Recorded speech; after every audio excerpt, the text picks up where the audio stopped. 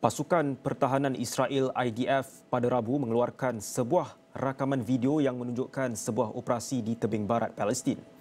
Video tersebut memaparkan sebuah serbuan yang dilakukan dalam apa yang didakwa rejim itu sebagai operasi menghapuskan pasukan pejuang Hamas. Perkhidmatan Kecemasan Palestin turut melaporkan lima penduduk terbunuh dalam serangan udara dilakukan di Bandar Tubas, Tebing Barat. Ia merupakan sebahagian daripada operasi dilancarkan rejim itu. Setakat ini, rejim Zionis mendakwa mereka telah menjalankan beberapa operasi di utara tebing barat sejak dua minggu lalu. Operasi itu melibatkan serbuan di beberapa buah bandar termasuk Tubas, Jenin dan Tulkam. Ia sekaligus meningkatkan kadar keganasan di tebing barat sejak perang tercetus. Dalam tempoh sama, Agensi Keselamatan Domestik Israel mendakwa kira-kira 40 tentera Israel dan orang awam telah terbunuh dalam serangan dilakukan rakyat Palestin atau dalam pertempuran dengan pasukan pejuang.